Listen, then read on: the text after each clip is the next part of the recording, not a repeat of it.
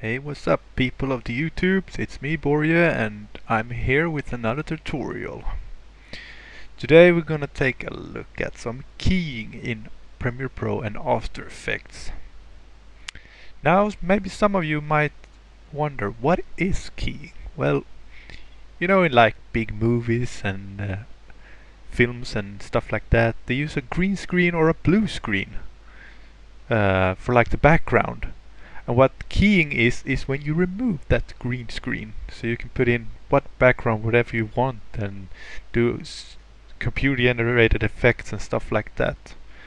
An example right here, when Shia LaBeouf says, Just do it! just do it. As you can see, the green screen, him and uh, Shia LaBeouf in front of it. Now if I were to remove this green background, um, that is keying, chroma keying, and yeah, stuff like that. But now we here we have my Nagi no Asukara AMV project. It's a bit of a mess, but well, it is right now. But I've selected out a few clips right here. I will do different types of uh, keying.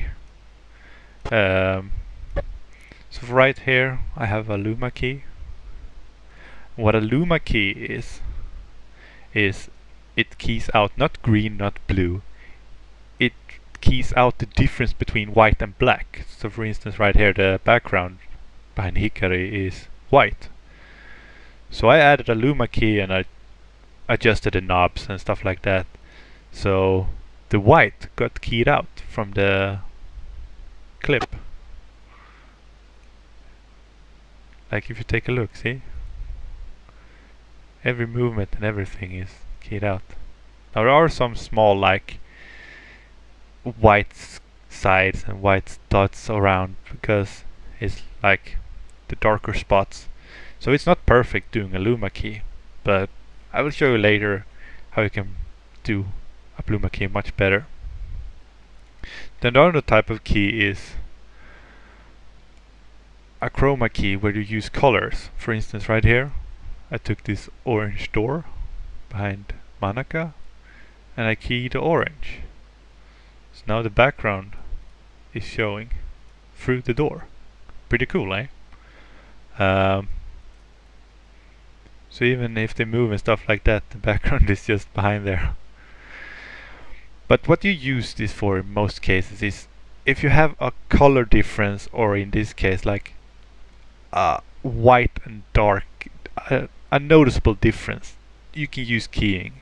In the most cases, a mask, like I did in my previous tutorial, it it's much better. But if you can, and there is that substantial color difference, you save a lot of time by keying. But keying is a lot trickier. So if you don't get it right right away, a mask is a lot more easy.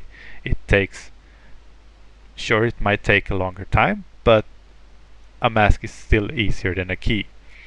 So, for my example right here, the, these four clips, uh, these are not very good at all for Nagi no Asukara because uh, they got blue uniforms. So if I were to key out blue or green, um, some of that blue in their uniforms and stuff like that and their eyes will get keyed out as well. So I stepped on my own toes right there when I chose this to make the keying tutorial for.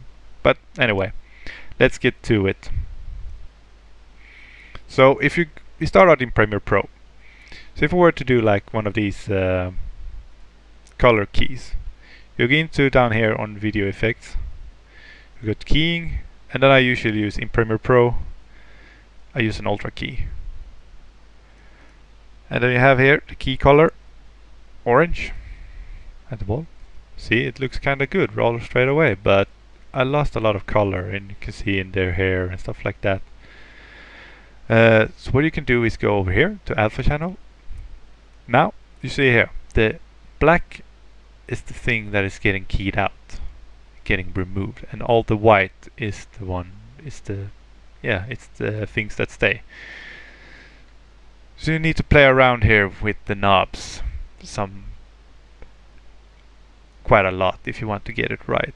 for instance right here you can see down there the lower part is getting removed. Uh, the upper part right here.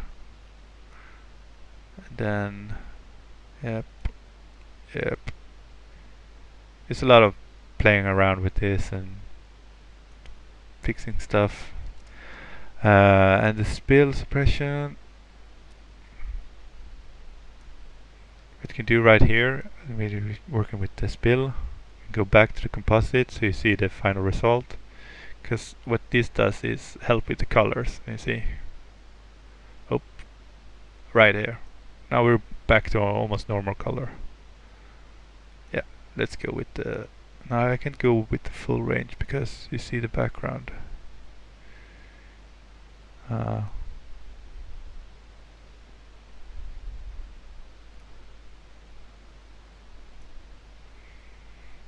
something like this. Now my other key was a lot better since you can see there's a spill over here. But yeah, this is how you do it. You have to play around. I can't show you exactly for each and every clip there is. You have to play around with the settings going back and forth in alpha and composite. Uh, so yeah, but we're gonna do a better one later in uh, After Effects. But this is how you do it in Premiere Pro if you don't have After Effects. And then a Luma key over here. Well, it's a Luma key in the keying effects. Just pick a cool Luma key. Now this is hidden so you don't have to pay attention to that. But then you get like this. Now it's the wrong way around because I don't want Hikari to be keyed out. I want him him to stay and the background to be removed. So, okay, now that here's back. You can see the entirety of him, and then we're gonna go careful. Uh, there we go, removing the background. But make sure not to go too far because you can see his shirt is going to start fading and then him as well. So somewhere around like this. No, like this should probably be good. But then again I can kick this up a notch.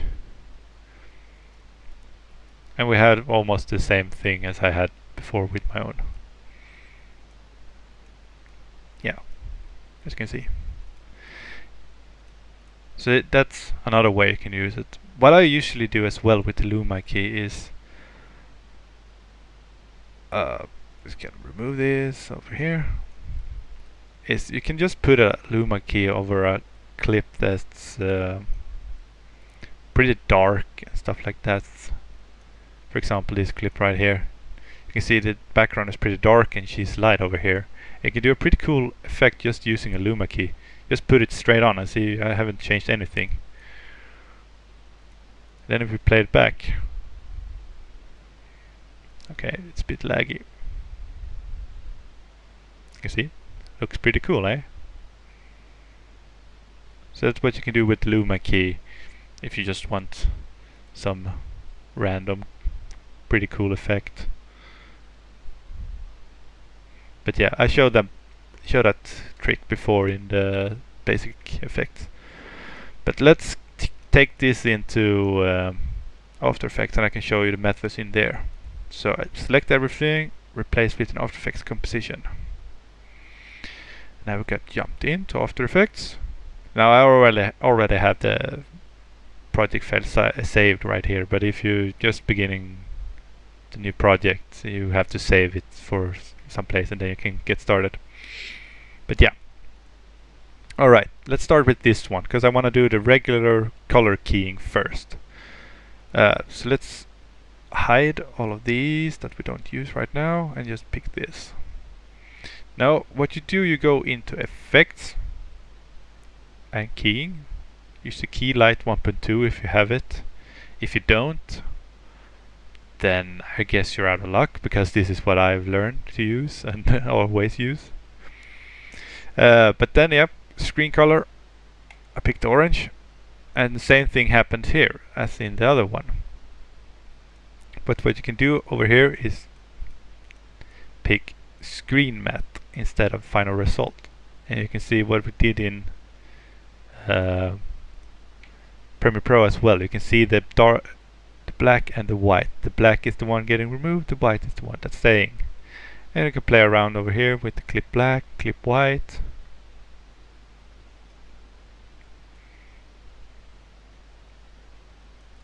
And just put on some softness so it becomes a bit blurry.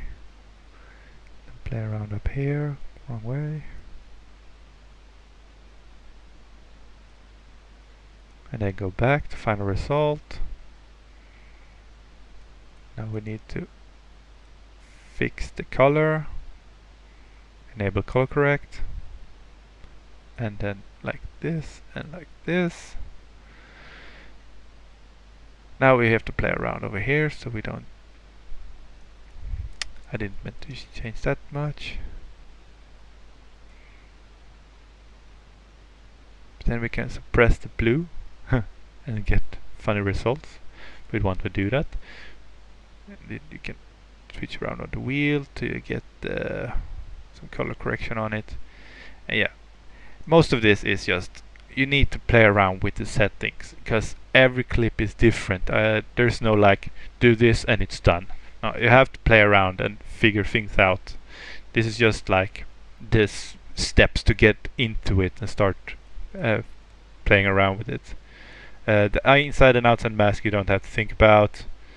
It's the color correct uh, the foreground color correct you have to fix stuff like that. But what you can also do before you do a Keylight, I'm just gonna remove this for now, is add a selective color. Now I just search here in the effects window, select selective color, drag it over to the effect control. And what you can do right here is choose a color, uh, yellow, green, cyan, blue, for now we're going to stick with red because we're going with the orange door. And you can play around with the settings over here. See, I'm getting... Let's magenta stay. Yellow. Yep, we want yellow. Black. Nope, we don't want black. You can stay. And then we can duplicate this by pressing Control D and you see it's getting more and more orange. Now in this case her hair is getting more orange as well. So yeah, I'm not that good at choosing the clips. I've tried to figure out we maybe we can do a little bit with yellows to figure something out.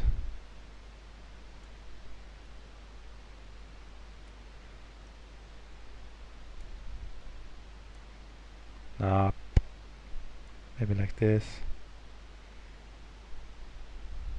What we want to do is separate the colors as much as possible.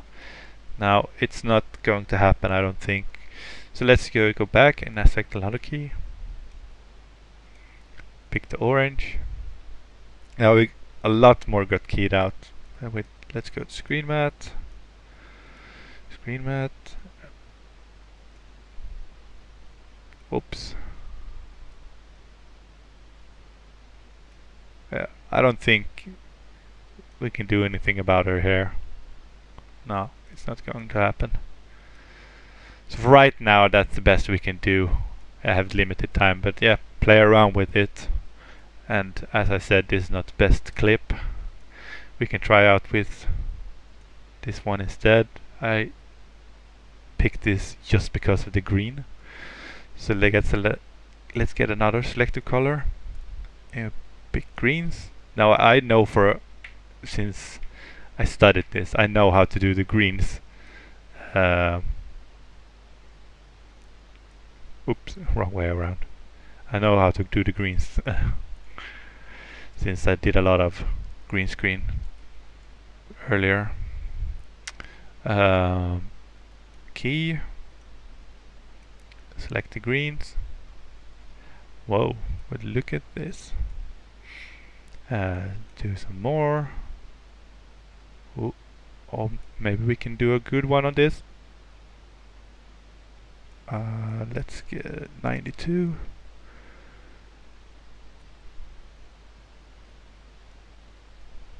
Nope, other way around. Oh, and let's see the result.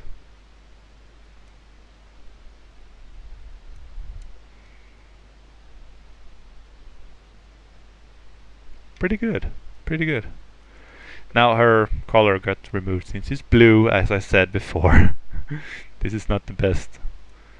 See right here, it's blue. Is not the best type of clips, but if you have a colorful anime you're doing AMVs for or stuff like that, this is this method could work. Have some softness to it. Nope, that was too much. Oh wait, it's shrink, it's grow, shrink and grow. Never mind, sorry. Right there. Maybe we can shrink it by one. Too much softness. Yeah, something like that. But yeah, again, play around with the settings and stuff like that. Um, but if I were to do a Luma key in here, like this one on Hikari, um, what you can do is just add a Luma key, but that's kind of boring because it's almost the same thing as on in Premiere Pro. Yeah. So what we're we're gonna do is we're gonna do a little bit of a more advanced, but just as simple almost. We're gonna add a tint, so it becomes black and white, and then we're gonna add brightness and contrast. You can do this in multiple ways. You can add levels or stuff like that to just change the black and whites. But we want to do is get him dark and the rest white. Something like this. So like what we did before, but now we did it manually. uh, so something like this. And I'm gonna duplicate this layer, Control D and I'm to remove the effects on the lower half like this and then we're to go here to the Track Matte thingy. If you don't have it you can switch down here. So you go from this to this and then you have the track matte right here. I'm going to pick the lower layer of the two and then select Luma Matte. Wrong way around. The Luma Invert Matte. There we go. And now we have the same effect as we did in Premiere Pro earlier. Now this, as in, for a fact like in Premiere Pro, there are the small, smaller dots and the edge. But yeah, so this is like, as I said, the clips I used is not that good, but every clip is different. So play around with the settings. Uh, remember the things I used selective color